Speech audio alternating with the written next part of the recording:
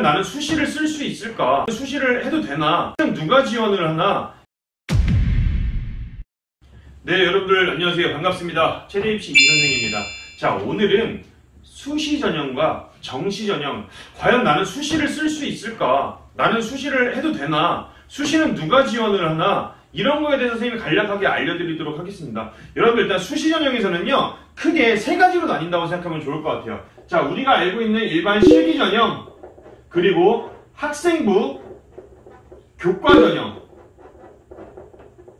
마지막 학생부 종합 전형 자 그냥 정말 뭐 그 외에도 굉장히 많은 전형들이 있죠. 뭐 농어촌 전형도 있고 뭐 다자녀 전형 전형도 있고 뭐 이런 전형들이 굉장히 많지만 우리가 평균으로 지원하는 가장 많은 전형들은 이 세 가지라고 생각하면 좋을 것 같아요. 하지만 학생부 교과 전형과 학생부 종합 전형이 대다수가 이 전형을 선택하기보다는 대다수가 실기 전형을 선택하는 학생들이 많기 때문에 오늘은 실기 전형에 대해서만 설명을 해드리려고 해요. 자, 그렇다면 실기 전형, 선생님, 실기 전형에서 보려면은 과연 몇 등급이 돼야 되고 어느 학교를 지원을 할 수 있습니까? 라고 이야기하는 학생들 굉장히 많아요. 자, 이거는 꽤 많은 학교가 있기 때문에 선생님이 말로 설명을 해드리겠습니다. 자, 일단은 서울권에서 우리가 지원할 수 있는 실기 전형은 어디 어디가 있냐? 첫 번째, 가장 핫한 학교입니다. 동국대학교 체육교육과, 한국체육대학교, 그리고 삼육대학교 생활체육학과, 동덕여자대학교, 서울여자대학교, 숙명여자대학교 총 6군데의 대학의 인서울권을 우리가 실기 전형으로 지원을 할 수 있다 이겁니다. 자 그렇다면 경기권으로 지나갔을 때는 어디까지 지원을 할 수가 있느냐? 가천대학교, 강남대학교, 대진대학교, 수원대학교, 성결대학교, 용인대, 을지대, 한신대, 마지막 하나 한양대학교 에리카 캠퍼스입니다. 자, 총 서울권과 경기권 총 합쳐서 16개의 대학을 우리는 수시 일반 실기 전형으로 지원을 할 수가 있는데요. 자, 이 부분에서 어, 조금 다른 학교와 다른 학교가 있습니다. 한국체육대학교랑 한양대학교 에리카 캠퍼스입니다. 자, 다들 아시겠지만 이 두 개 학교는 그 열, 나머지 13개 학교와 다른 차이점이 무엇이냐? 바로 딱 하나이죠. 수능 최저가 반영이 된다는 점. 자, 그렇기 때문에 어, 내신 성적이 아무리 좋고 실기를 아무리 잘한다고 하여도 학교에서 정해준 기준에 수능 최저를 맞추지 못한다면 우리는 이 두 개의 대학은 지원이 불가능하다고 생각하면 좋을 것 같아요. 자, 그 다음에 또 조금 다른 학교들이 있어요. 자, 이거는 인문계 학생들이 아닙니다. 자, 서울여대, 용인대, 을지대, 삼육대학교.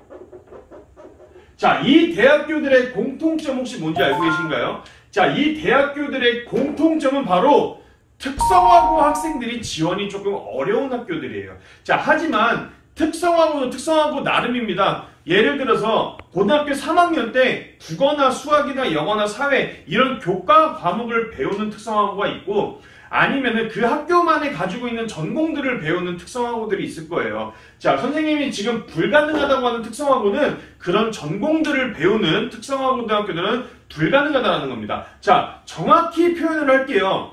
지원이 불가능하다는 게 아니라 지원은 가능하지만 합격이 불가능하다라고 생각하면 좋을 것 같습니다. 왜? 3학년 때 들어가야 되는 국어, 수학, 영어 이런 교과목들이 이제 특성화고 학생들은 배우질 못하기 때문에 특성화고 학생들은 그 과목들이 9등급 처리가 됩니다. 그렇기 때문에 특성화고 학생들은 이 대학교는 지원이 조금 힘들다라는 점 알고 있으면 좋을 것 같아요. 자, 그렇다면 선생님, 그 외에 나머지 학교들은 평균적으로 몇 등급대가 합격이 됩니까? 자, 일단은 기본적으로 인서울권은요, 3.0등급 기준으로 잡으시면 좋, 좋습니다. 이건 너무한 거 아니냐고. 하지만 여대는 다릅니다. 숙명, 특히 숙명여자대학교, 동덕여자대학교 같은 경우는 2등급 극초반이나 1등급 후반 정도 되는 학생들이 합격을 한다고 생각하면 좋을 것 같고요.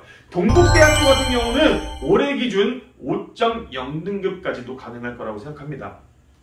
경기권 같은 경우에서는 물론 학교의 기준마다 다르지만 어, 대략적으로 6.5등급까지는 합격한 사례가 많다라는 점을 알려드리고 싶습니다. 자 이렇게 해서 서울권과 경기권에 우리가 수시로 실기 일반 전형으로 쓸 수 있는 대학교들에서 알려드렸어요. 자 하지만 어 선생님 근데 제가 내신 성적은 되는데 아 정시 모의고사 성적도 좋아요. 그럼 어떻게 해야 될까요? 그런 학생들에게는 선생님이 80% 정도 추천하는 거는 정시 전형이에요. 왜? 아무래도 보다 폭이 넓은 대학교를 선택할 수가 있기 때문에 정시 전형을 추천드리고 싶고요. 자, 그리고 수시를 어떤 학생들이 선택하느냐? 자, 첫 번째 모의고사 준비가 안 된 학생들.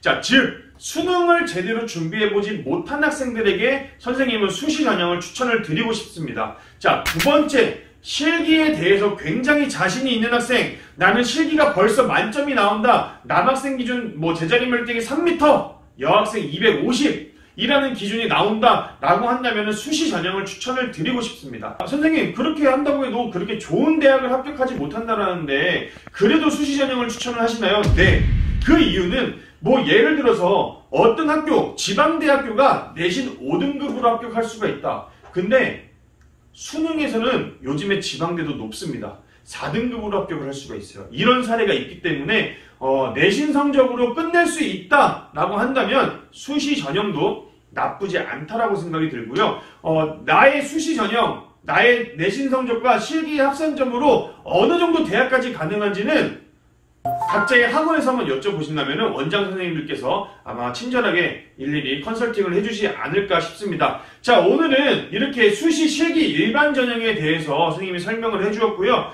어, 이 실기 일반 전형을 준비하기 위해서는 여러분들 실기가 반드시 거의 올 만점이 나와야 된다는 사실 꼭 알고 계시면 좋을 것 같습니다. 자, 오늘은 내신에 대해서 여기까지 설명을 해드리도록 하겠고요. 다음에는 다른 컨텐츠로 여러분들에게 도움이 되도록 하겠습니다. 다음에 뵙겠습니다. 안녕.